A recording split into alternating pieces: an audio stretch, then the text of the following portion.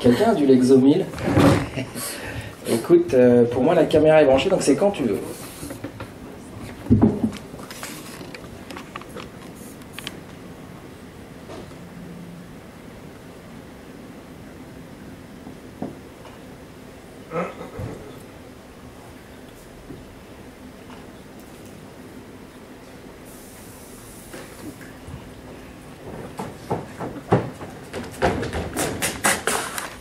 Putain, j'ai super peur. J'ai jamais y arrivé. Moi, je suis sur le gadget là-dedans.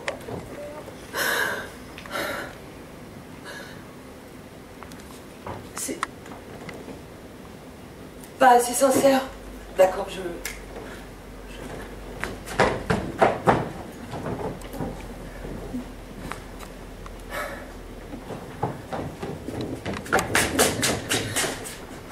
J'ai super peur. Pourquoi je suis engagée ah. J'aimerais bien partir de ma vie là. Pas assez contrasté. Je ouais, je-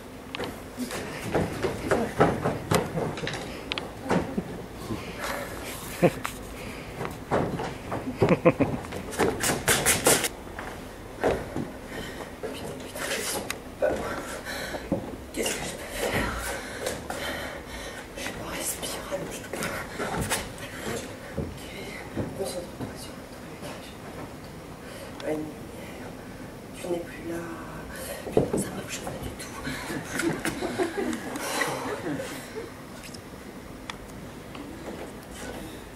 C'est pas assez profond. Bah.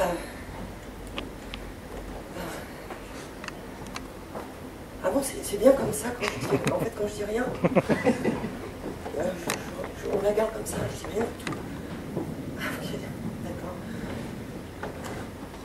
Ah oui, oui, je sais. Oui, l'articulation, euh, ça va pas du tout. Je vais reprendre euh, l'exercice euh, du, du crayon. Oui, oui, oui.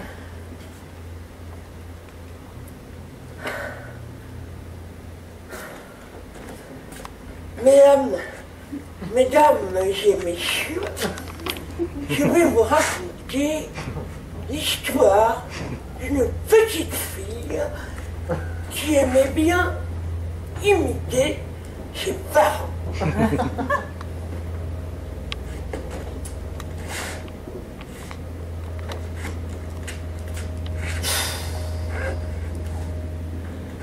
Bon, Viviane, qu'est-ce que tu fous là? Ça fait une heure que je t'attends.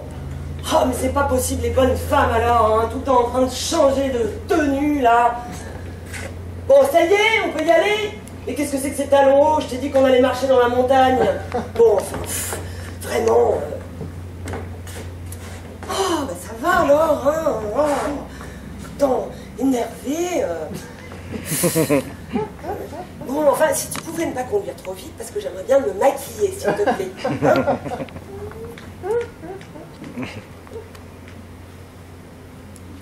oh Et Amélie, arrête de me toucher les cheveux, tu vas me décoiffer.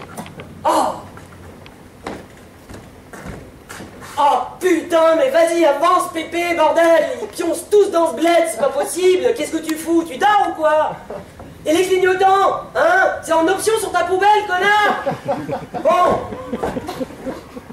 Oh, T'es tout le temps énervé, écoute, c'est pas de ma faute si on arrive en retard chez ton père, hein Oui, je sais, c'est toujours nous, mais écoute, c'est toujours nous. Oh, et Amélie, je t'ai dit, arrête de me toucher, je vais voir qu'on me touche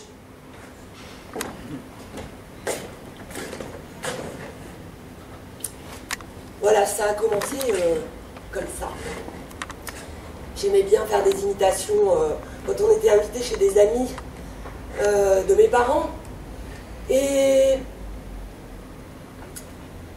naturellement, euh, ce, désir d'être, de jouer, ce plaisir du jeu, le fait d'être touché par la joie du jeu, c'est a commencé à grandir. A commencé à grandir, j'ai fait du théâtre à l'école. Je sais pas, vous aussi, sans doute, vous étiez à l'école. Euh, c'est là où on commence à être noté et où on commence à nous dire que quand on a une mauvaise note, eh ben, c'est qu'on est un mauvais élève. Moi, j'étais dans une école un peu particulière, j'étais à l'école Steiner. Alors, c'est une école euh, étonnante parce qu'il n'y a pas de notes, on n'est pas noté. Donc, euh, dans cette école, par exemple, euh, quand on apprenait, quand on apprenait l'étape de multiplication, on faisait un grand cercle et on se lançait une petite patate en coton bio remplie de sons de 2 en 2 ou de 3 en 3, ce qui permettait de très bien visualiser ce qui se passait dans la table de multiplication. On sautait deux personnes, on voyait les choses, on les comprenait. Alors quand je suis passée au CM2 normal, parce qu'avec les copines on disait bah, que nous on n'était pas dans l'école normale, c'était les autres qui étaient à l'école normale. Nous on était dans une école anormale en fait. Donc quand je suis arrivée au CM2, et eh ben, euh, je comprenais pas très bien les choses en fait. Et j'étais tout le temps en train de lever le doigt pour dire euh, j'ai pas compris. Pourquoi est-ce que c'est comme ça? Et ça m'est resté euh, jusqu'à aujourd'hui euh, grand désir de comprendre. De comprendre le sens de ce que j'apprenais, de ce qui se fait. Je vais vous raconter dans cette conférence comment j'ai perdu ma valeur parce que je l'ai mise à l'extérieur, parce que je l'ai donnée à l'institution, entre autres, et avec elle euh, ma confiance, et avec elle euh, ma créativité aussi. Et comment je l'ai retrouvée? Par quel euh, déboire, des illusions, des mystifications je suis passée? Comme euh, je voulais faire du théâtre, j'ai commencé par faire des petits coups.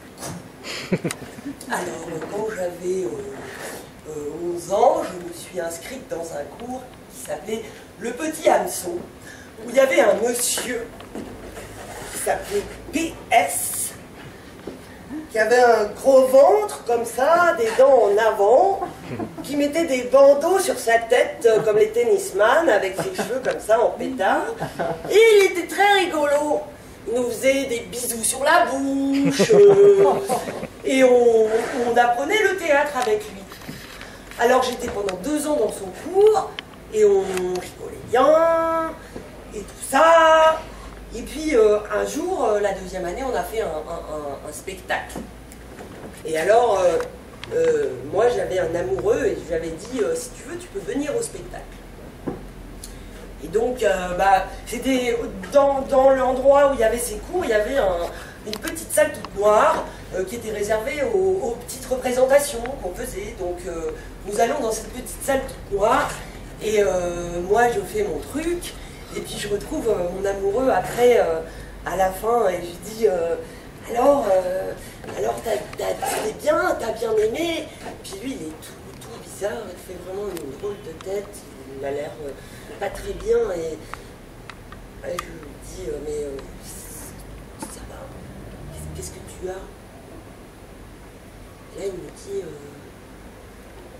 Bah, tu sais, tu sais, là, dans, le dans le, noir là.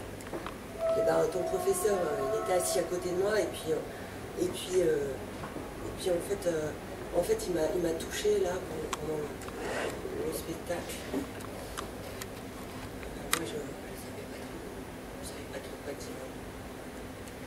Enfin bon, il n'y a pas que des mauvaises expériences non plus hein, au théâtre. Alors, alors après, ah bah après voilà, après j'étais en troisième, je faisais de la danse, et puis euh, là, il y a un casting pour être danseuse dans un opéra de Jérôme Savary au Palais des Congrès pour des danseuses. Alors je, le passe et puis euh, je suis prise. Et puis euh, quand on arrive à la première répétition, était là avec cigare et puis... Voilà les filles là. Qui c'est qui va avoir seins nus et soutien-gorge à paillettes? Faites-moi deux groupes. Ah. Euh, bah, moi, euh, moi, moi, je vais garder le, soutien-gorge à paillettes en fait. Ah bah parce que c'est dommage, c'est mieux payé quand on l'enlève, dis donc. Bon. Enfin bon, le palais des congrès, c'était une expérience... euh, on faisait tout, c'est simple. On faisait des accessoiristes, on courait tout le temps, on était tout le temps sur le devant de la scène, enfin surtout celles qui n'avaient pas le... Voilà.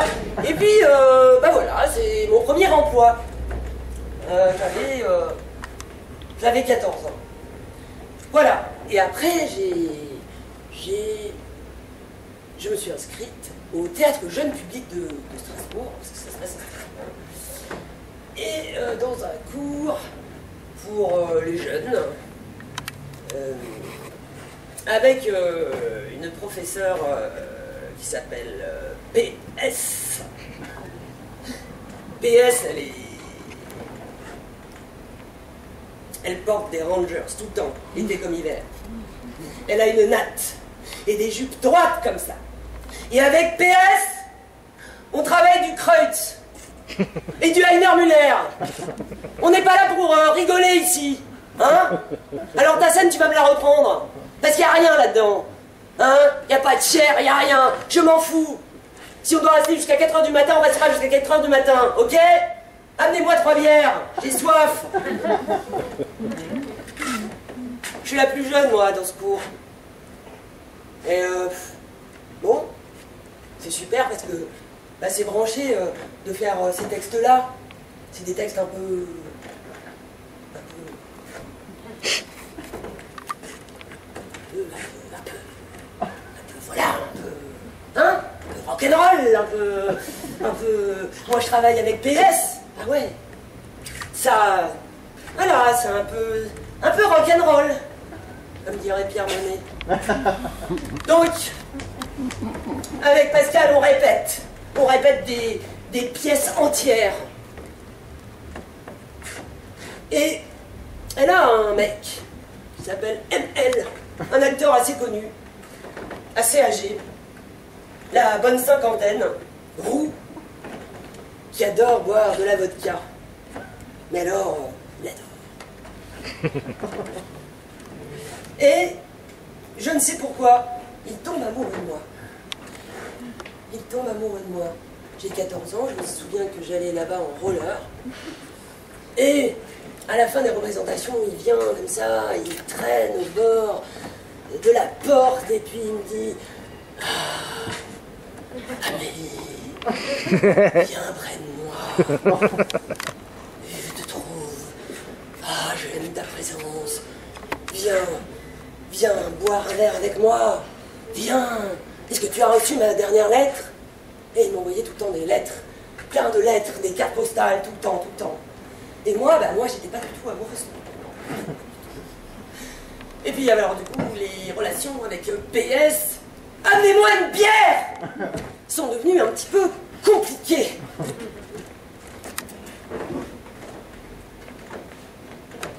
À tel point qu'un jour, il m'a dit Soit tu monteras les marches à Cannes, soit tu deviendras une espèce d'alcoolique. Et à son âme.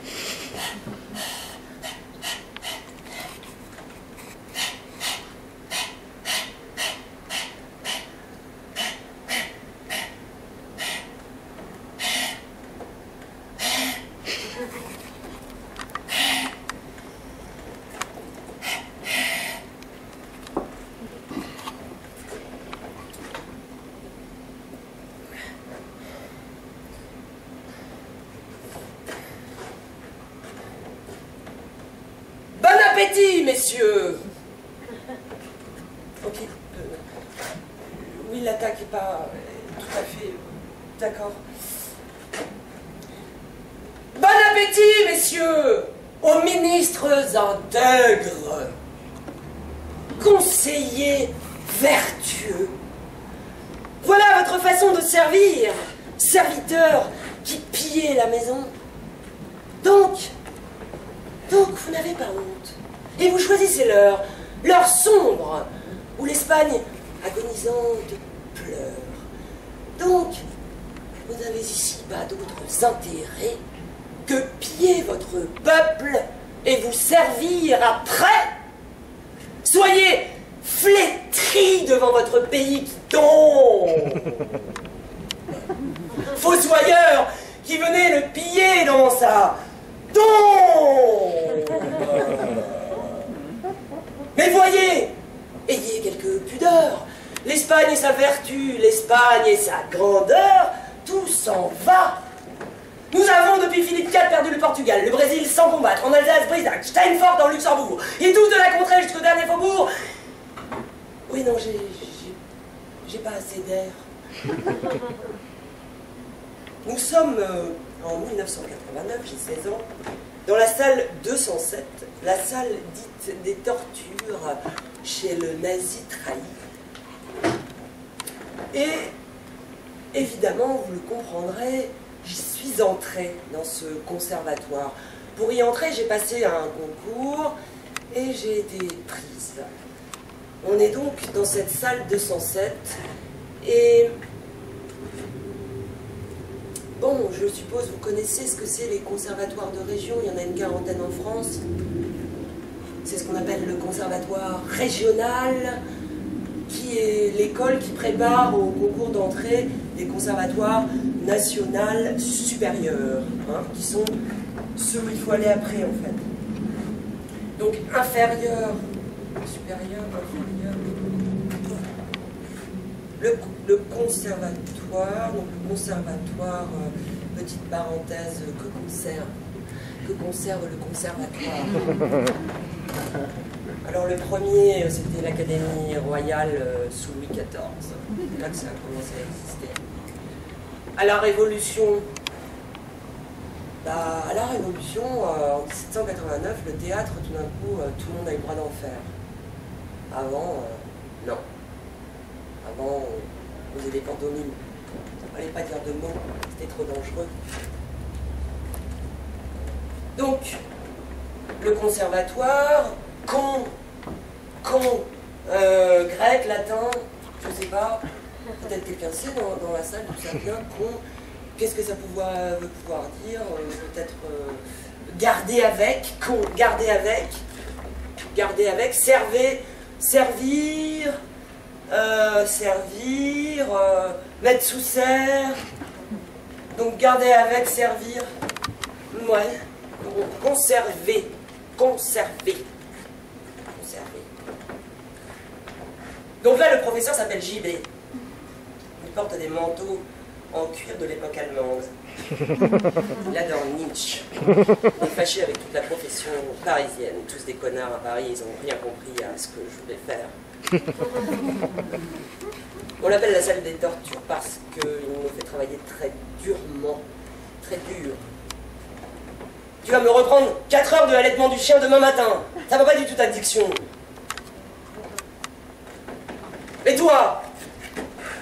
Mais c'est pas possible ça. Y a pas quelqu'un qui a une scène digne de ce nom à me passer? Vous êtes tous nuls aujourd'hui. C'est dingue ça. Y a rien à l'intérieur de toi. Tu es vide. Tu n'as pas d'âme.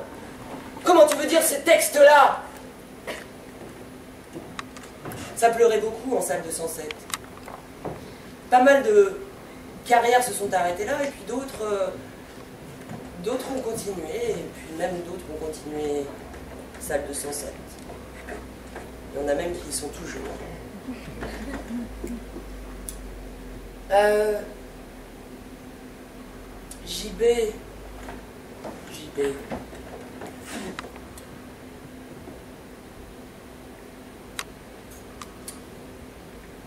En tout cas, moi,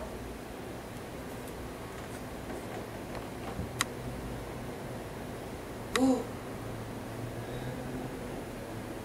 La terrible et surprenante odeur de viande qui meurt.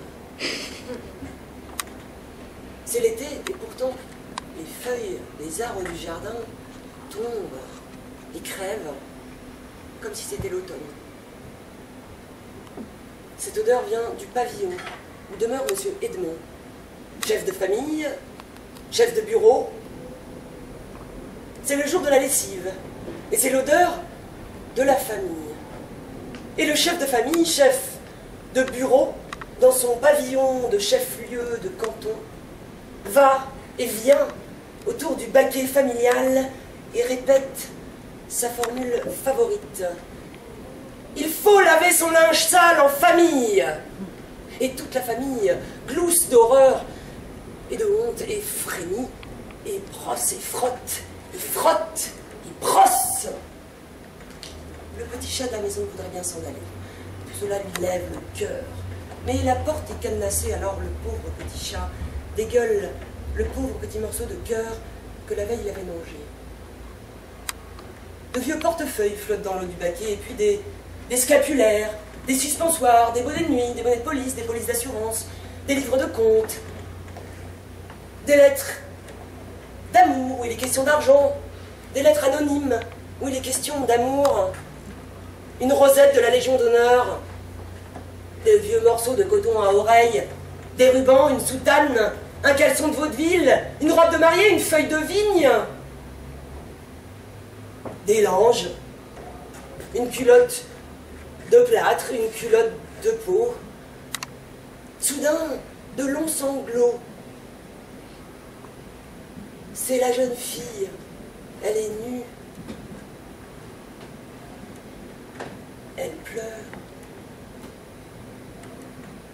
Et le petit chat ne s'est pas sur ses oreilles pour ne pas entendre ce bruit parce qu'il aime la fille et que c'est elle qui crie. C'est à elle qu'on en voulait. C'est la jeune fille de la maison. Elle est nue, elle crie, elle pleure, et d'un coup de brosse à chien dent sur la tête, le père la rappelle à la raison. Elle a une tache, la jeune fille de la maison. Et toute la famille la plonge et la replonge dans l'eau du baquet. Il ne faut pas que tout ceci sorte d'ici. Et il faut que tout ceci reste entre nous.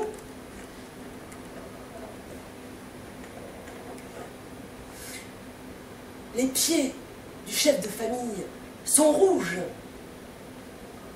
mais ses chaussures sont bien cirées. Il vaut mieux faire envie que pitié. Premier prix de diction au conservatoire, de la première année, avec ce texte. Bac. Je suis quelqu'un. C'est formidable. Ah, ça, c'était une bonne année. hein. J'ai eu le bac, j'ai eu un premier prix. J'étais super contente parce que ce système-là des concours et tout ça, moi, je trouvais ça super. Je trouvais ça super, pourquoi? Parce que j'étais dedans, parce qu'on m'avait prise. Bah ouais, pas de problème. Et puis, là, euh, je suis partie à la fac, six mois, fac d'art plastique, parce que je faisais de la peinture aussi un peu. Là, euh, les filles du premier rang avec leur rangée de stabilo, le vert, le rouge, le jaune, qui soulignaient tout bien comme ça la règle et qui avaient les bonnes notes. Bon, moi, euh, je me suis c'est pas, là qu'il faut que je reste. Je me suis dit, bon, euh, ça m'aurait servi à ça la fac, et savoir que c'était pas pour moi. Puis je continuais le théâtre. Alors, euh, évidemment, euh, question avenir, métier, euh, comédienne, bah, c'est pas très. C'est pas très rassurant pour la famille.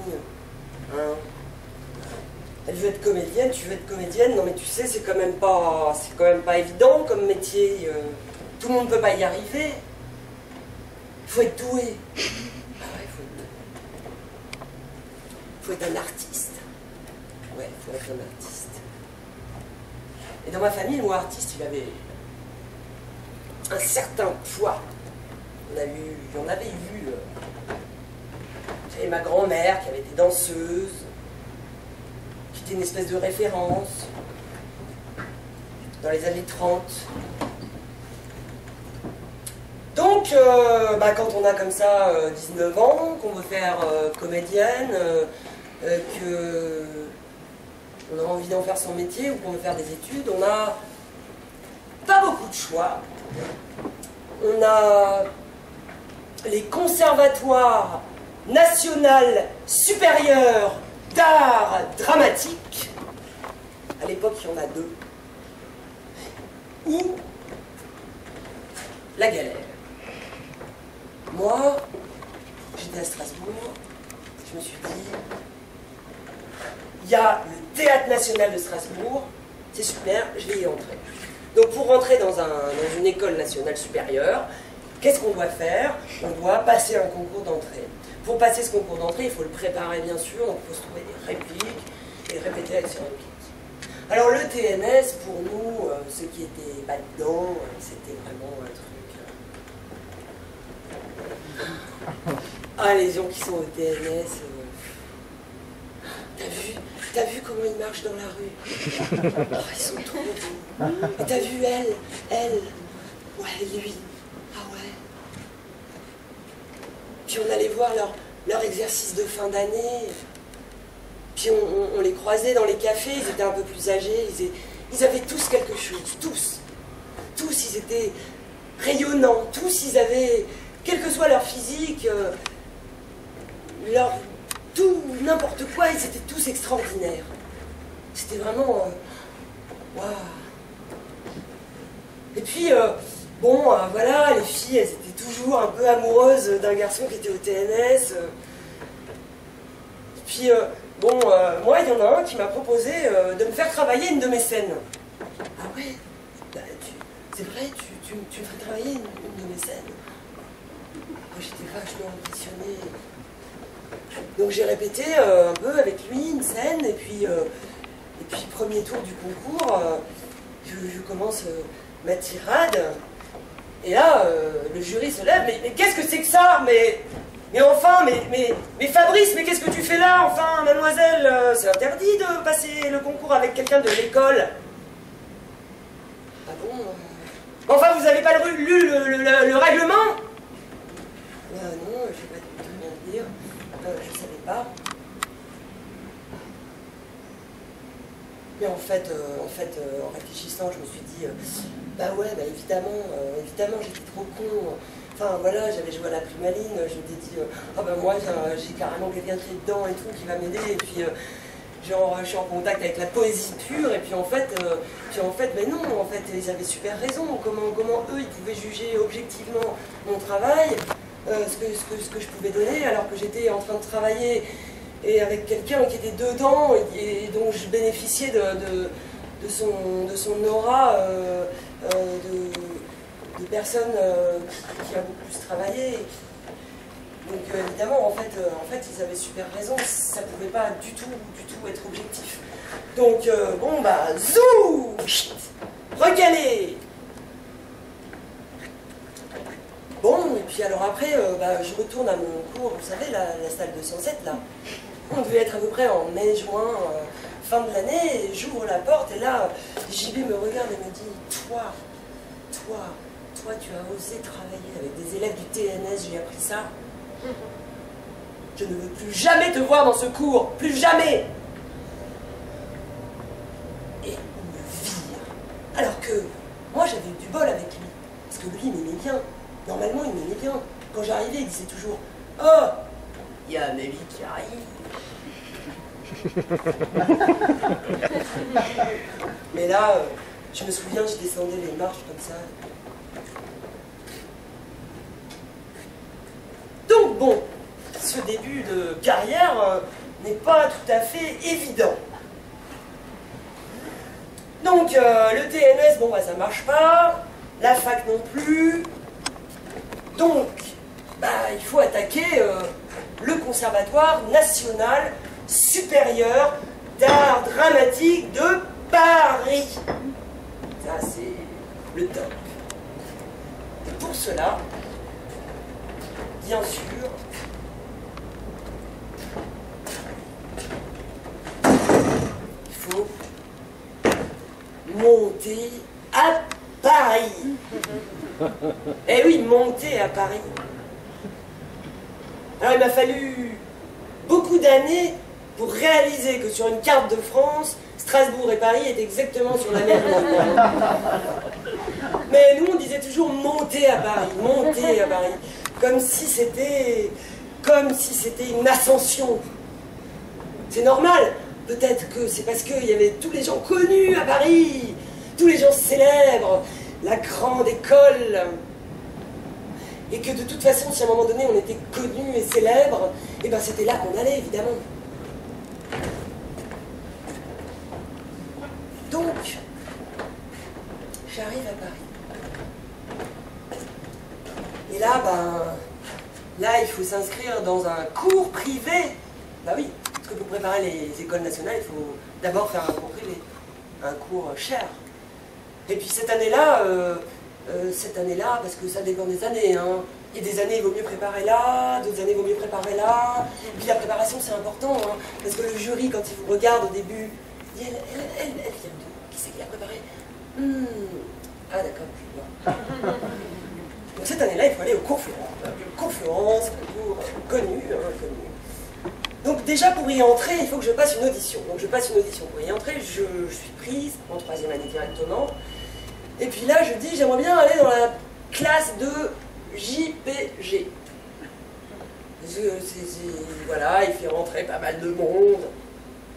Alors, euh, ah bah il y a déjà 43 élèves, donc il va falloir passer aussi une audition. Ah bon d'accord, donc je passe une audition un matin à 8h dans une espèce de salle avec un amphi euh, comme ça, très raide, blindé de monde. Je passe ma scène et puis... euh, C'est bon, allez, ok, je te prends. Comment tu t'appelles? Anna, Amélie. Oui, en fait, Amélie, c'est mon deuxième prénom parce que mes parents, ils m'ont donné le premier sur la carte d'identité Anna, mais en fait, ils m'ont toujours appelé du deuxième, donc en fait, mon... Tu t'appelleras Anna, c'est beaucoup plus théâtral, écoute. Bon, alors tu vas me préparer ça, ça, ça, ça, ça, ça, ça. Voilà, tu me travailles toutes ces scènes. Allez, maintenant, on va voir la scène de... Il y avait beaucoup de gens qui sont très connus aujourd'hui dans ma classe. Euh, et donc après ce premier cours, je vais voir les gens, je dis Ouais, bonjour, bon bah écoute, voilà, est-ce que tu voudrais bien me donner la réplique? Ouais, écoute, excuse-moi, mais là, tu vois, euh, je suis déjà blindé en réplique, euh, j'ai déjà toutes mes scènes du con, plus euh, je ne la réplique à trois personnes, je pense que ça va vraiment pas être possible, tu vois. D'accord, ok. Bon, je vais en voir comme ça plusieurs, et puis tous ils me disent la même chose. bah non, bah désolé, hein, moi je peux vraiment pas, j'ai déjà trop de scènes à travailler. Bon, alors je sais pas si c'est parce que j'avais des bagues, euh, si c'est parce que je venais de Strasbourg, euh, bon. Euh, bon, alors du coup, euh, bah, comme il y avait trois vieux dans la, dans la classe qui pouvaient plus passer les concours, bah, c'est avec eux que j'ai travaillé. hein. Donc le concours, on s'inscrit, on paye pour s'inscrire, c'est assez cher, hein, bon voilà. Et moi j'avais pas, enfin voilà, l'année où je le passe, changement de direction du conservatoire. euh, avant ils avaient deux tours, hein, donc premier tour sélection, deuxième tour sélection, et là cette année ils avaient réinstauré un troisième tour, comme avant, comme avant avant. D'accord, trois tours, très bien. Donc euh, je prépare le premier tour, je passe le premier tour, je réussis le premier tour. Alors là, euh, je sais pas quoi vous dire, mais changement total de relation, changement de vie. Salut, t'as eu le compte, soit tu, tu bah, viens, je t'invite à boire un café. euh. Alors là, je suis devenue quelqu'un, c'était, génial. Euh, avant, je n'étais personne et tout d'un coup, euh, tout d'un coup, j'avais une importance aux yeux des autres. C'était super. J'étais, j'étais, ça, fait bien.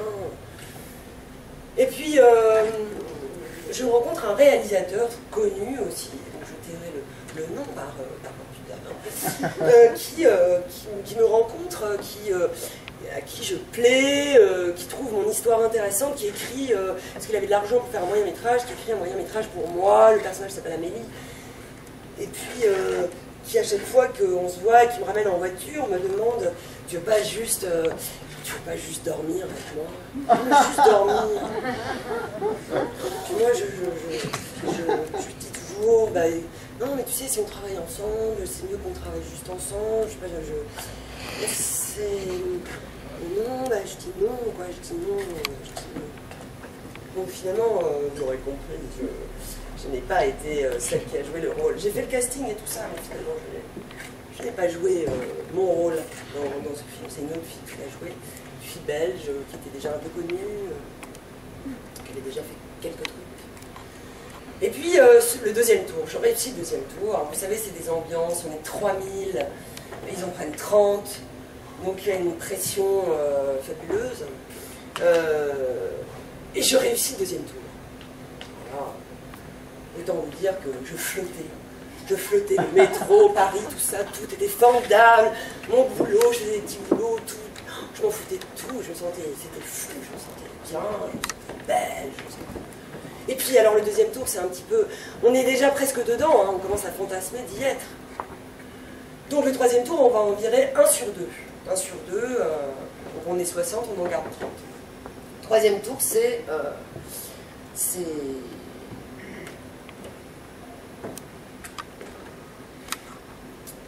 Chaque groupe, chaque personne est choisie par un prof au deuxième tour. Donc moi, par exemple, j'étais dans le groupe de Madeleine Marion, qui m'avait choisi.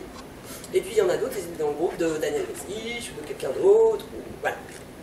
Et donc Madeleine Marion nous donne à moi et à un autre euh, mec un- une grosse scène de Lady Anne dans Richard III à réapprendre entièrement en trois jours. Une espèce de double scène énorme euh, dans, un cortège funéraire où Lady Anne suit, enfin un truc pas possible. Et puis par exemple dans le groupe de Daniel Mesguich, il leur remet juste un peu en scène euh, les scènes qu'ils avaient passées au concours. Donc déjà, c'est pas du tout la même sauce selon les personnes. Et puis euh, les résultats de ce concours, ça se passe euh, dans la rue, devant le conservatoire. Une dame sort et lit une liste par ordre alphabétique de ceux qui sont reçus.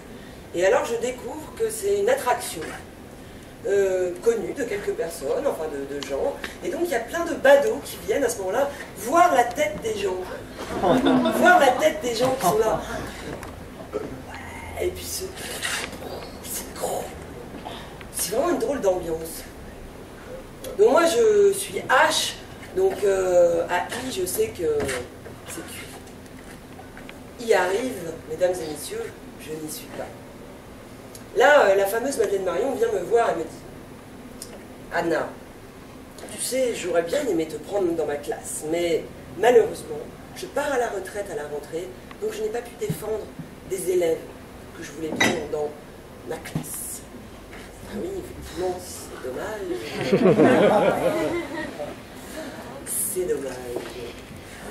Alors voilà, c'est des souvenirs très. euh, je me souviens très bien de là où je suis allée m'asseoir, espèce d'église dans le 9e avec des marches, avec une copine. Et là, il y a comme un, une espèce de. Voilà. Je sais pas si c'est ça la réalité, en tout cas, euh, peut-être. On est là et on voit le trottoir. On voit hyper bien ce qui est là tout d'un coup. Donc bon, après les gens ils disent euh, non mais c'est pas grave, euh, le conservatoire euh, c'est déjà super d'avoir eu le premier tour et tout ça, et le deuxième tour la première fois, il faut le repasser de toute façon. Ah ouais ouais ouais. Bon sauf que ma famille elle l'entend pas vraiment comme ça parce que le cours Florent en question ça coûte super cher. Bon, vous me direz, au cours Florent ils ont institué un truc vachement bien, ça s'appelle la classe libre. Alors c'est un truc où ils sélectionnent des gens en quels ils croient et euh, pour eux c'est gratuit les études. Alors déjà, tous les gens qui ont un nom un petit peu connu, ils sont. Et puis ensuite, il y a un petit casting euh, qu'on peut passer euh, devant FF, Cigare aussi lui. Voilà, on est tout seul avec lui, on lui passe une scène. Et lui, il est là. Et, regarde. Donc moi, je l'ai passé évidemment ce truc. Et, mais, mais, mais alors pourquoi, pourquoi je ne sais pas, euh, je crois que tu n'as pas plu à, à François Florent. Voilà. Bon, euh, ben voilà, euh, je plais pas. Apparemment, je plais pas. Alors bon, ça donne vraiment l'impression que, bah que, bah que je suis pas bonne, que bah moi, euh, on me prendra pas. Quand même, non Quand même, ça donne pas confiance. le théâtre, finalement, est-ce que vraiment il faut que je continue? Et puis bon, euh, hein, euh, Amélie, derrière, il y a la pression quand même, il va falloir faire quelque chose de ta vie, tu vas pas continuer comme ça. hein. Bon, alors, bon, bah voilà, je fais des petits boulots, hein, il faut gagner sa vie, pour certains. Je fais partie de ceux qui ont besoin de gagner leur vie. Et puis, euh, le concours, euh, bah, il faut le repasser. Mais comme j'ai plus les moyens de me payer un cours payant, alors euh, je, je répète un peu toute seule avec des copains, comme ça, voilà. Et puis, je, passe le, je le repasse l'année d'après. Et au premier tour, première scène, bon, déjà, elle a été préparée par qui? Ah, par personne. Bon, déjà, ça c'est moyen. Mais en plus, la réplique qui devait me donner la réplique, la veille au soir, m'appelle pour me dire écoute, je suis désolée, je peux pas venir, je suis malade. Donc il faut que je trouve quelqu'un à l'arrache dans le hall. euh, Tu veux pas me dire ah, qui, tient le texte papier, qui sait pas son texte. Donc autant vous dire que je l'ai pas eu pour. Et puis. euh,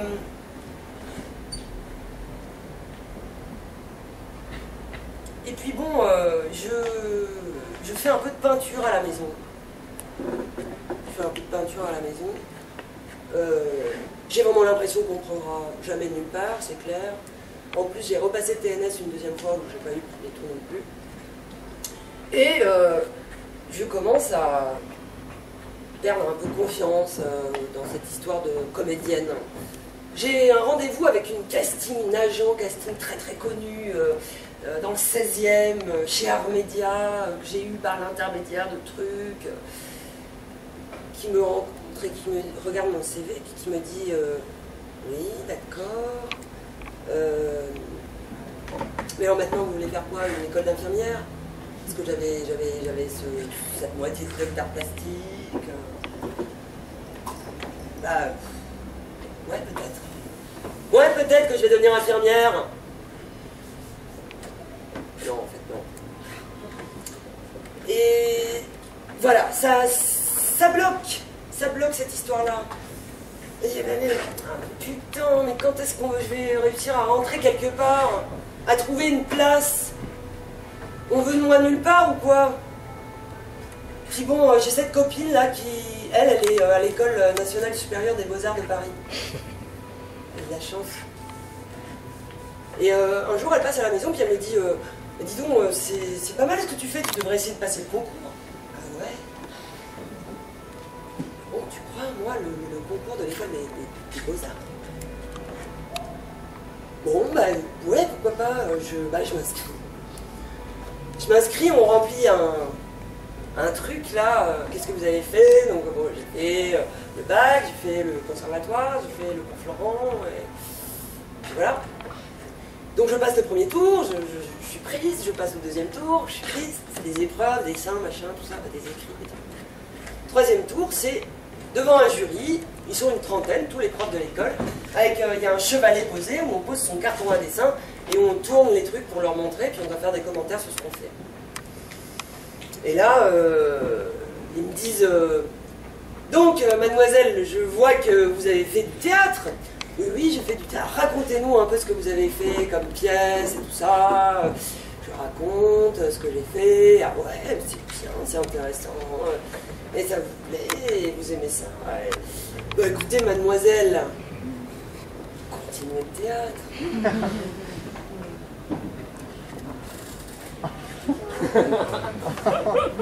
Bon. Bah moi, euh, je continue pas le théâtre, mais euh, je continue la peinture, parce que le théâtre, euh, je passe des castings, j'envoie des CV, je fais des trucs, mais ça marche jamais.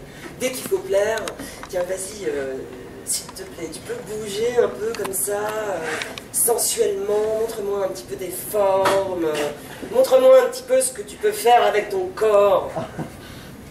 Et ben moi, je j'y arrive pas, quoi. Quand on me dit ça... euh, je, je- je le fais un peu comme ça, mais à l'intérieur de moi, je sais pas pourquoi, il y a un truc qui. un truc qui. un truc qui, qui est pas. Quelque part, ça me fait chier. Devoir, euh, devoir, faire, devoir séduire, devoir. devoir plaire, devoir prouver que je plais.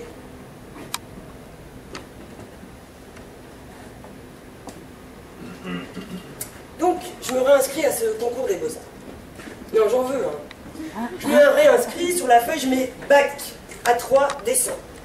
Je reprends mon dossier qui était resté euh, près du placard euh, pendant l'année, et puis euh, je repasse le premier tour. J'ai le premier tour, je repasse le deuxième tour, j'ai le deuxième tour. Je me retrouve de nouveau devant le jury. Puis là, bah, ils n'ont rien sous les yeux, donc ils ne me demandent pas si j'ai fait du théâtre. Et puis du coup, bah, on parle de mes trucs, et je suis prise.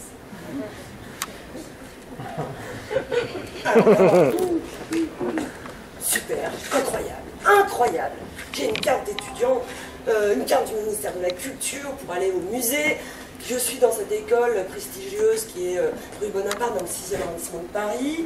Euh, je suis, je suis quelqu'un, ça y est, je peux dire à la famille, je suis à l'école. Voilà, tout le monde est content, c'est super, ça fait du bien. Et là,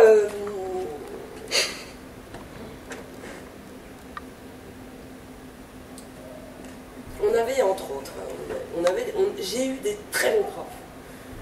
Il y en avait un, Marcelin Pléné, un penseur, un mec euh, qui venait, il n'avait jamais de papier, puis il parlait, puis c'était waouh. Lui, il nous avait dit Vous là, vous, vous qui êtes dans cette école nationale supérieure des beaux-arts, ben vous savez quoi, vous serez jamais artiste. Vous serez jamais artiste parce qu'un artiste, ça ne peut pas être formé dans une école.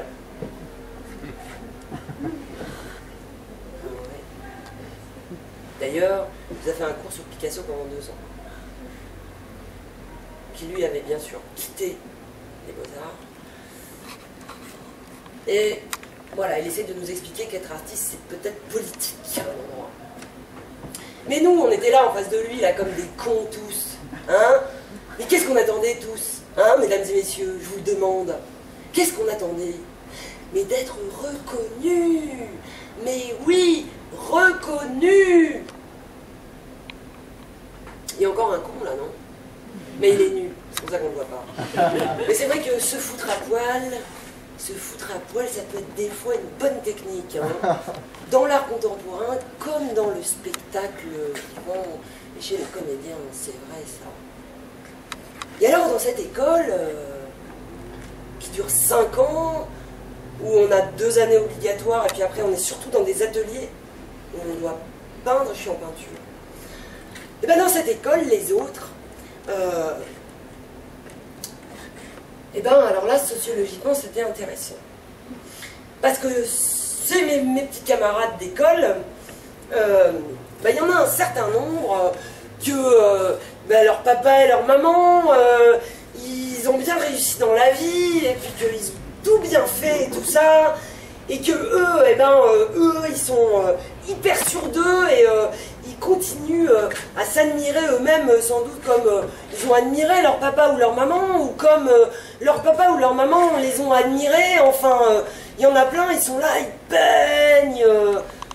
et puis moi, ben, alors moi, moi, je, moi, je, les admire. Moi, je les admire. c'est super ce que tu fais. T'as vu euh, le truc, c'est bien ce qu'il fait. Hein. Ouais, je les admire, j'admire les autres. Hein. J'admire les autres. Mais moi, moi, mais moi, je, moi, je sais pas comment on fait. Je sais pas comment on fait. Mais c'est comment qu'on fait? C'est comment qu'on fait, bordel?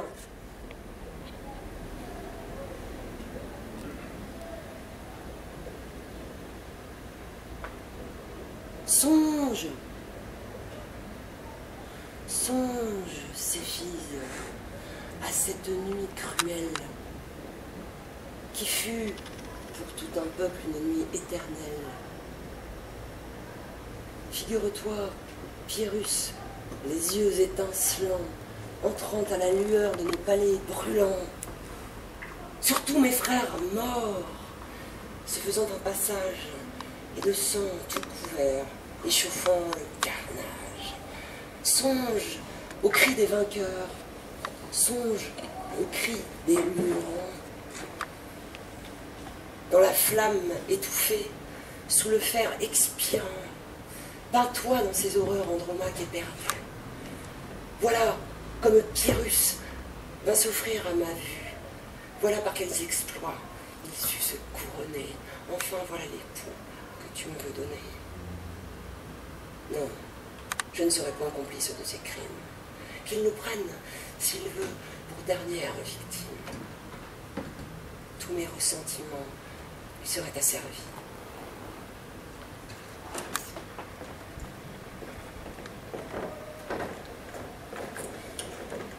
Donc,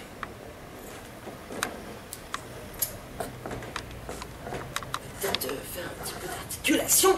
hein? Mesdames et messieurs, donc je suis au Rougeard. Donc cette école fabrique des artistes, vous l'aurez compris. En cinq ans, on vous fabrique un artiste.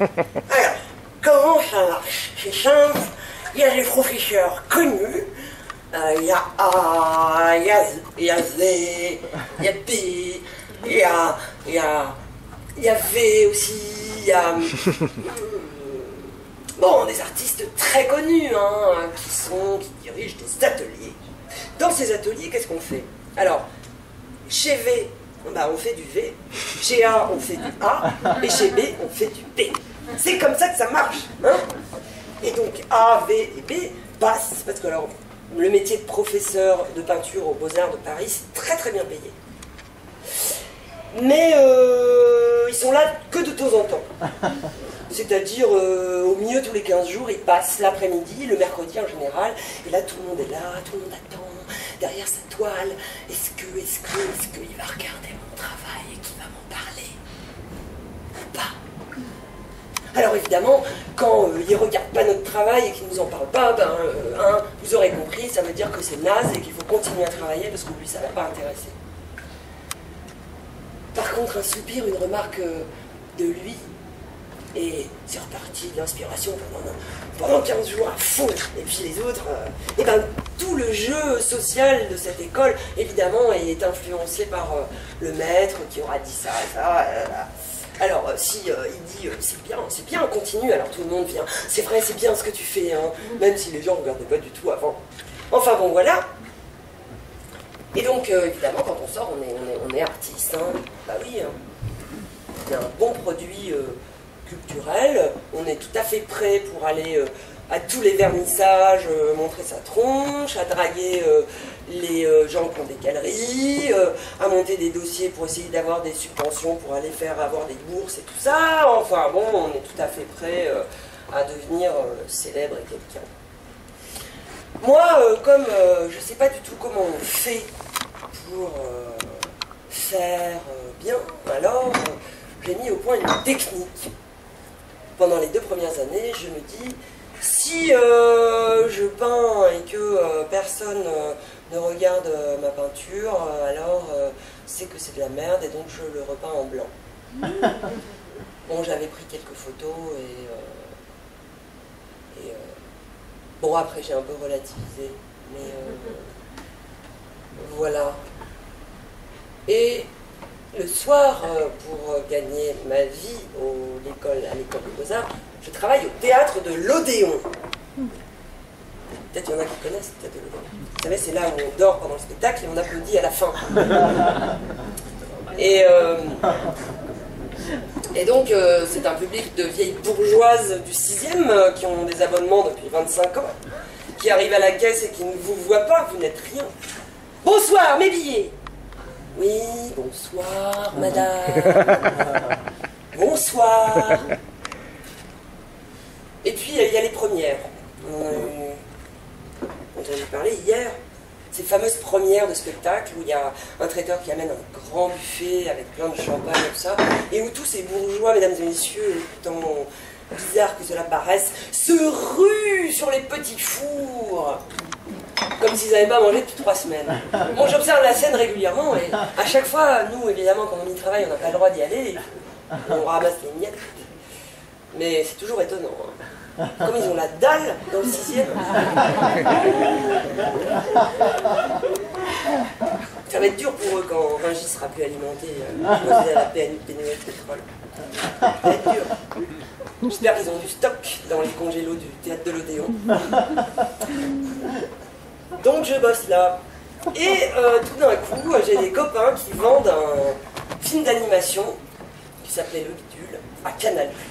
Des copains écœurés de la pub qui essaient de faire autre chose. Donc moi, je suis toujours à l'école des beaux-arts, hein, en quatrième année, entre-temps. Et j'ai un rôle dans ce truc. J'ai un rôle, je joue Patricia. Patricia, c'est la voisine du dessus.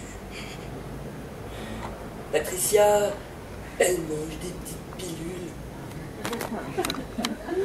Parce qu'elle va pas très bien. Et qu'elle a beaucoup peur de se poser des questions. Parce qu'un jour, sur une gaufrette, elle a vu une question. C'est quoi le sens de la vie? Et là, la vie, elle a mangé une petite pilule. Alors après, ça allait beaucoup mieux. Et Patricia, elle fait du téléachat. Et elle fait du vélo d'appartement. Et elle se colle des trucs là sur le ventre pour maigrir. Et, euh, et euh, c'est l'amante d'un homme qui a une tête en plastique. Il a des actions. Il est businessman. Et il lui met la main comme ça. C'est des photos, hein. C'est de l'animation. Enfin bon, voilà. Donc tout d'un coup, je me retrouve à Canal+. Enfin, je passe à Canal+, dans un truc qui dure 3 minutes toutes les semaines. Alors évidemment, c'est pareil, ça change une vie, quoi. Euh, je suis un peu mieux payé qu'avant, quand même. Puis bon, euh, la peinture, les beaux-arts, tout ça, c'est un peu secondaire, quand même. Hein. Et euh, se pose la question, quand même, à un moment donné, de, de- diplôme. Passer son diplôme dans cette école. Et ben moi, euh, en fait, je fais de la photo depuis 2-3 ans, pour moi, comme ça, mais j'en fais beaucoup, beaucoup, beaucoup. Et puis, euh, bon, ma peinture, euh, ah, mon professeur que, que je trouvais qu'il ressemblait à John Cassavetes, c'est pour ça que j'étais allée dans son atelier, parce que pff, il était vraiment trop beau. Et ben, euh, bon, il s'en fout un peu de ma peinture, hein, c'est pas transcendantal ce que tu fais. C'est bien, mais il faut bosser encore, là. Pas. Bon, donc le diplôme arrive, et puis bon, il y a une espèce de pression, il va falloir faire quelque chose pour ce diplôme. Et tout d'un coup, euh, je montre euh, mes photos euh, conseillées par une copine à la prof de photo de l'école des beaux-arts. Qui m'a dit, mais c'est génial, c'est de la photo de peintre, il faut absolument que tu montres ça. Ah, ah, ah, ah Ah, ah. Ah, ah. Effectivement, elle me dit, mais c'est génial, c'est de la photo de peintre. Il faut que tu passes ton diplôme avec de la photo. Et donc, euh, vite, vite, vite, il faut que je trouve un concept intelligent pour justifier ce travail, puisque vous savez, dans ces écoles, en général, c'est plutôt le concept qui amène au travail. Bon, en général, euh, aussi, ce qui se passe, c'est que comme tout a déjà été fait, et que ça, vous le remarquez bien dans cette école, parce qu'il y a une bibliothèque extraordinaire, il faudrait deux vies pour arriver à lire tous les bouquins, et que euh, dès que vous faites quelque chose, bah, vous avez tout de suite une référence qui vous tombe dessus, va voir les choses qu'on fait trucs et bidules dans les années 30. Donc on va à la bibliothèque, on ouvre un bouquin et là on voit, ah ouais, effectivement, ça a déjà été fait, mais en vachement mieux. Au bout de 5 ans, euh, au bout de 5 ans, on sait plus trop quoi faire en fait, c'est ça le problème. Et donc me voilà à imprimer des grandes photos comme ça sur métal. Je me souviens que ça m'a coûté une fortune. Euh, même si je l'ai fait à la FNAC. Et, et donc il faut absolument que je trouve comment justifier euh, ce concept euh, qui serait d'avoir juste pris des photos. Donc évidemment ça, ça peut pas passer pour un diplôme, hein, vous, vous pensez bien. Donc je sais plus ce que j'ai trouvé, enfin j'ai écrit un truc, je, je me suis renseigné beaucoup, enfin voilà, et me voilà devant le, le jury. Cette année-là c'était un jury difficile, où il y a peu de gens qui ont eu leur diplôme. D'ailleurs, moi, ils m'ont, ils ont hésité à me donner mon diplôme. Ils m'ont dit, euh, on trouve quand même que ce serait bien de pousser un petit peu plus loin notre travail, encore pendant un an. Et comme j'avais dit à A que si jamais on me faisait repiquer, je n'irais pas, bon, il a un peu insisté pour qu'allez, euh, on lui file à son diplôme.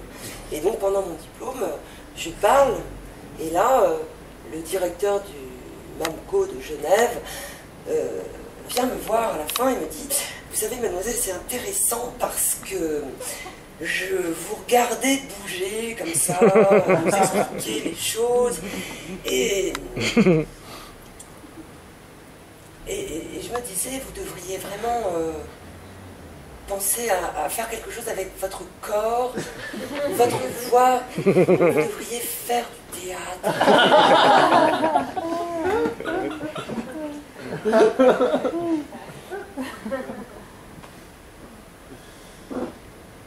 suis-je? Qu'ai-je fait? Que dois-je faire encore? Quel transport me saisit? Quel chagrin me dévore? Errant et sans dessin, je cours dans ce palais. Ah, que ne puis-je savoir si j'aime ou si je hais?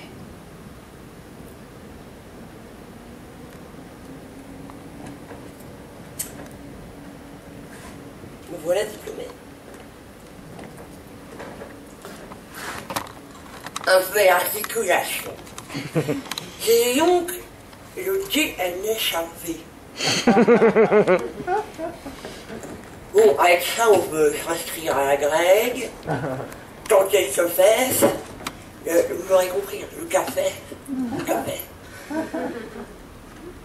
J'ai essayé, euh, je sais plus quand, bien plus tard un jour, de réinscrire à la fac, à la grecque.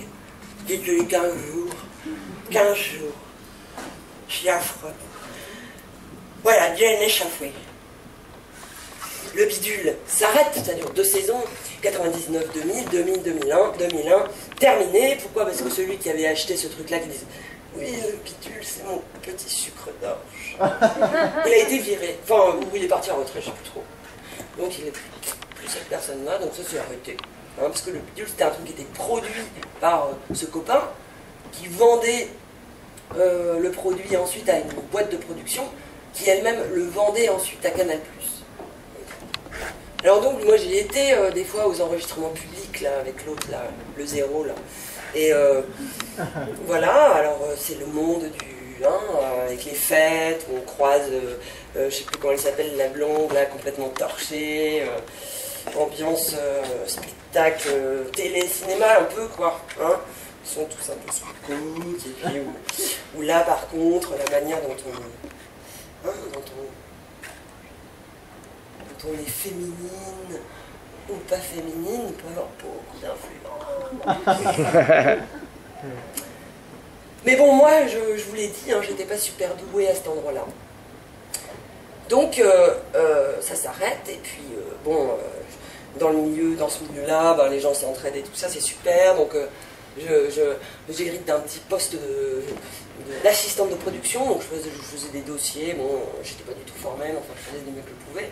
Et puis, euh, puis en fait, comme il n'avait pas payé l'URSSAF pendant deux ans, en fait, il tombait dessus, puis terminé. Ouais, t'es bien gentil, mais ta copine là, euh, qui fait les dossiers euh, pas très bien, comme assistante de prod, ben, on va pas la garder. Hein.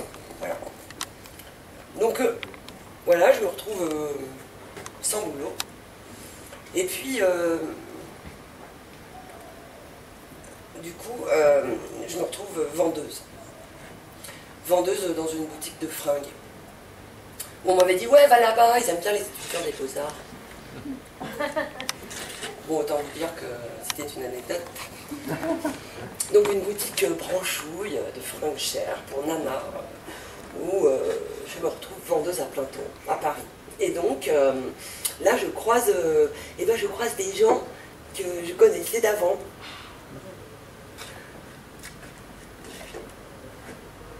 Ah, salut euh, Mais qu'est-ce que, tu fais là? Ah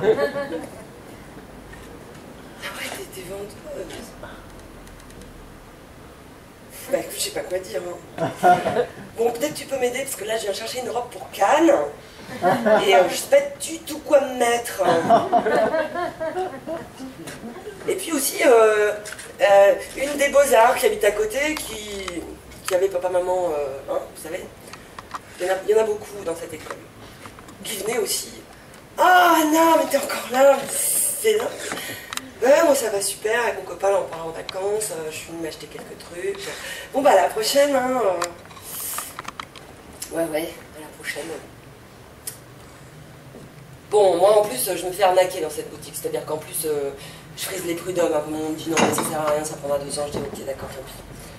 Et puis finalement, bah, ça ne me suffit plus pour payer mon loyer, euh, ce salaire euh, à plein temps au SMIG. Donc finalement, je suis obligée de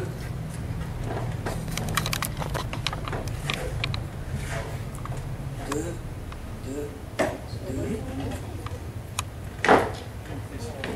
de redescendre, de redescendre, avec tout ce que ça veut dire de, euh,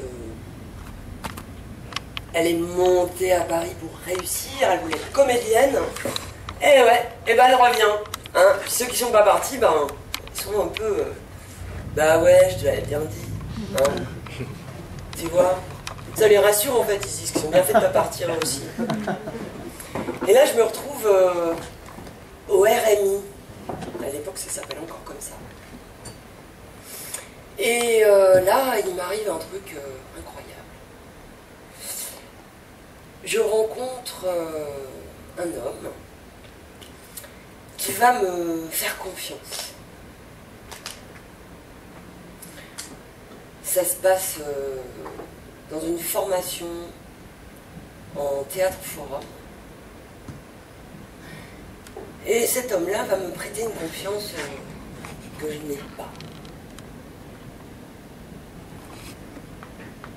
Et là, je pourrais par exemple vous dire euh, bonjour. Voilà, bonjour. Et euh, gardez votre main. Pas la lâcher. Et vous proposez que pour qu'on se lâche la main, on dise bonjour entre nous, aux autres. Qu'on se dise tous bonjour. Ça foutrait un peu le bordel. Ça foutrait un peu le bordel, donc on va pas le faire. Mais c'est le début d'une séance de théâtre forum, d'un forum. Ça commence par un jeu. Je découvre là un autre monde, je rentre dans le monde du social. Le social. Alors au début, euh, je dois être observatrice pour me former. Et euh, j'observe, et puis je suis là sur ma petite chaise, et dans ma tête, je me dis Oh là là là là, c'est nul. Ah, la salle, elle est pourrie. Ah, puis ces projets, vraiment, c'est pas terrible. Et puis ça sert à quoi de faire un atelier comme ça? Franchement, ça change rien, quoi. Ça sert à rien. Et puis, bon, je chemine comme ça dans ma tête jusqu'à écrire mon mémoire de, de fin de formation. Puis en l'écrivant, je me rends compte que vraiment, euh, moi qui avais toujours été, euh, ouais, une marginale, moi je suis pas comme les autres, moi je fais pas comme les autres, euh, moi euh, ceci, euh, moi euh, cela, euh, vous savez, euh, reconnu, euh, tout ça. Moi je veux, je veux quoi moi? Moi je fais semblant d'être humble, hein, c'est ça. Je me dis, euh, je dis ouais, moi j'ai fait ça, mais bon, c'est de la merde. Puis euh, ça, c'est de la merde. Et puis ce qui est bien, c'est ça. Parce qu'il n'y a pas beaucoup de gens qui aiment ça. Alors ça, c'est bien d'aimer ça, quoi. Hein, vous l'aurez compris, une espèce d'identité comme ça, de gauche, rebelle, dont je n'avais aucunement conscience. Mais là, tout d'un coup, j'en prends conscience. Je me rends compte que, bah, que j'ai été quand même assez formatée quand même. Et que j'avais pas du tout compris. Moi, je pensais vraiment que j'étais de gauche. Hein. Enfin, je veux dire, j'avais pas creusé la question plus que ça. Hein. Mais bon, forcément, quoi. Contre les injustices, tout ça. euh. Là, je réalise un peu tout ça. Ça me fait un peu atterrir euh, dans une réalité où je rencontre des gens qui avant, mais des gens qui, pour moi, ils étaient tous chiants et cons, les gens qui bossaient dans les institutions. Les profs, évidemment. euh, et puis, euh, genre à la cave, tout ça dans les machins, une espèce d'image. Bon, j'exagère évidemment, mais bon, quand même, ouais, la nana qui fait ses photocopies, qui est là, qui s'en fout. Puis je rencontre tous ces gens, je rencontre des mondes, je rencontre des tas de mondes que je connaissais pas, je les rencontre humainement. Du coup, je rencontre bah, qui? Je rencontre des êtres, des personnes. Ce qui me fait un peu sortir de mon, de mon jugement à la con. Et découvrir que bah, des gens bien, il y en a partout, partout, partout. Et surtout, surtout, ça me fait découvrir que le théâtre peut être un outil. Ah ouais, un outil. Et que vous, tout le monde ici, n'importe qui ici, peut monter là, sur scène, et jouer. Il n'y a pas besoin d'être machin, truc, d'avoir fait des écoles. Non, tout le monde peut jouer. Tout le monde peut s'emparer de cet outil et l'utiliser. Et du coup, euh, le théâtre euh, reprend du sens. Le théâtre euh, retrouve un sens. Et du coup aussi, je retrouve un plaisir de jouer. Parce qu'il n'y a pas d'enjeu tout d'un coup. C'est juste jouer pour jouer. Et ouais, c'est bien. Et jouer avec des gens bah, je travaille beaucoup dans les banlieues, beaucoup avec les jeunes. Vous savez, ce métier, euh, euh, par exemple, d'éducateur spécialisé, euh, où, on dit toujours Oh là là, je sais pas comment tu fais pour travailler avec ces gens-là. Moi, j'ai travaillé avec les jeunes de banlieue, dans les cités. Ceux dont on dit qu'ils sont agressifs, qu'ils n'ont pas de culture, qu'ils n'ont pas de respect. Bon, enfin, vous connaissez hein, le, truc. Et moi, bon, j'arrive un peu comme ça, comme une, comme, une, fleur, parce que surtout au début, comme l'autre, il m'avait fait confiance, et que moi, j'avais pas du tout confiance. Bah, la première fois que je suis allée intervenir, je m'en souviendrai toute ma vie. Hein. Je arrivée, j'ai fait Bonjour, je suis l'animatrice en théâtre forum euh, de la compagnie Arc-en-Ciel, et, euh, et, je me sentais, mais alors là, pour le coup, vraiment dans un rôle de théâtre. Je mais qu'est-ce que parce que moi, je n'ai pas de l'animation, je n'ai pas du social, je n'avais pas passé mon BAFA, je n'avais pas fait de l'animation de colo, donc je ne connaissais pas tout ça. Alors, euh, c'était un peu surréaliste. Mais ça marchait. Et surtout, ce qui était super, c'est, voilà, on rencontre des gens, on commence à faire un truc. On commence par jouer, par se marrer.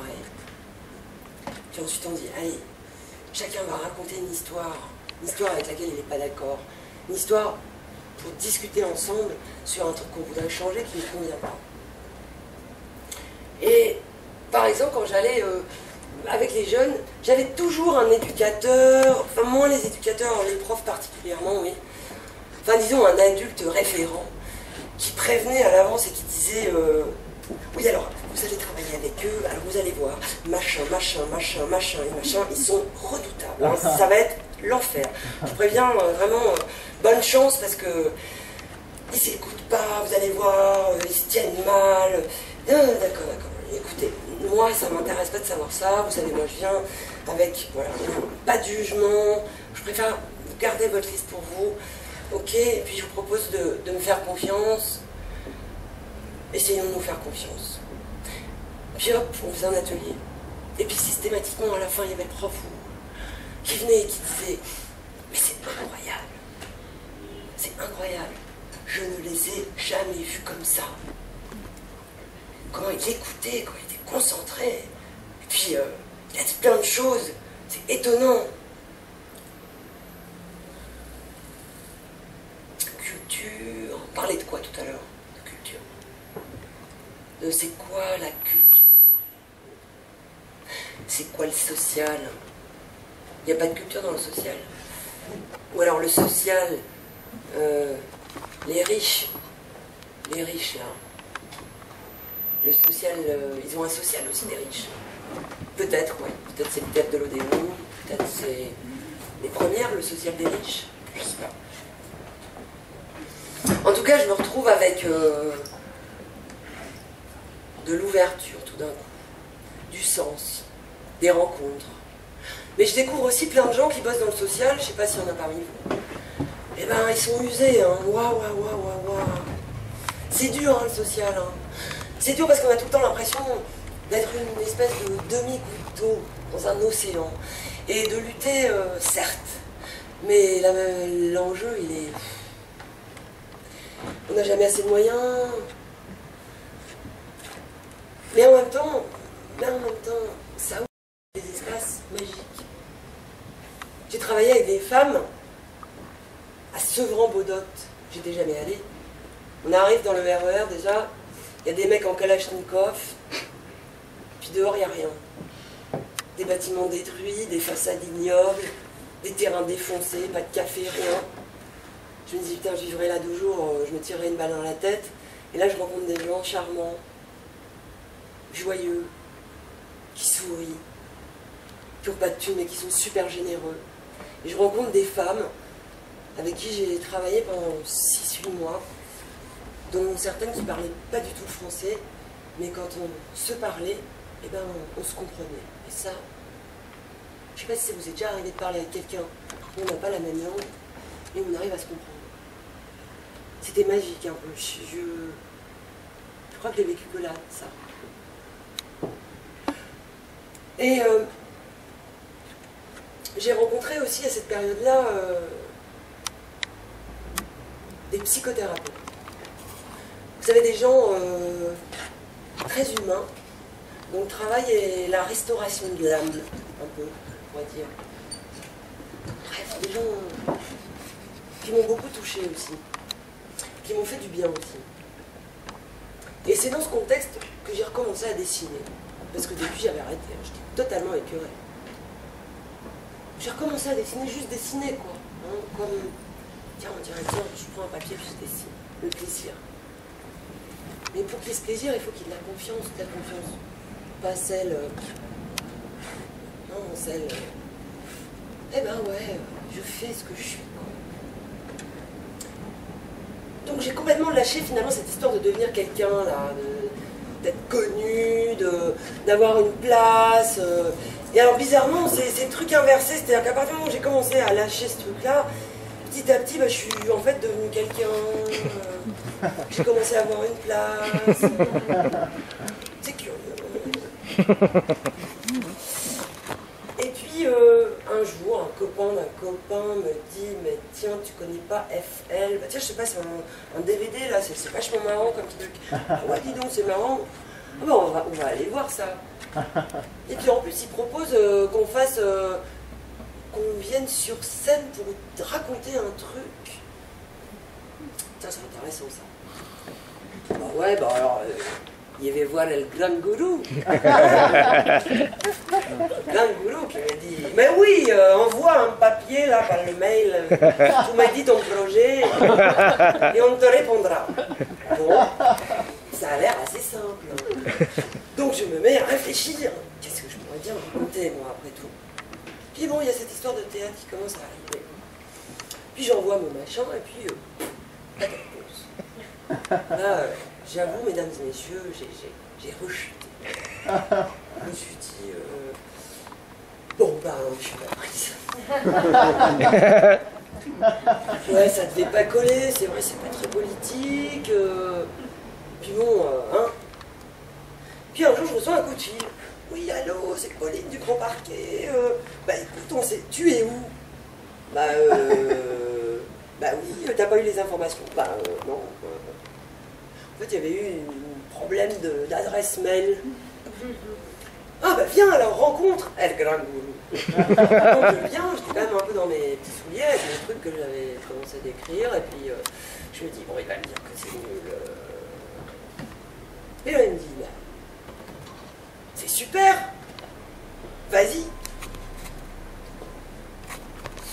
Puis j'ai continué à l'écrire, euh, ce truc-là. Puis là, je me suis dit, mais en fait, l'éducation populaire, une des valeurs que porte aussi euh, le théâtre forum. Est-ce que ce serait pas faire confiance à l'autre? Quelque chose comme ça. Mais on va faire un peu d'articulation quand même.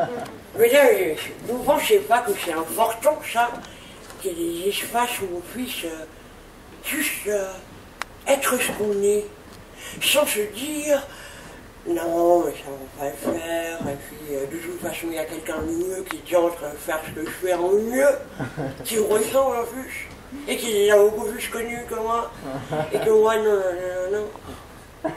Ouais, je sais pas, moi, je, je, vous laisse méditer là-dessus.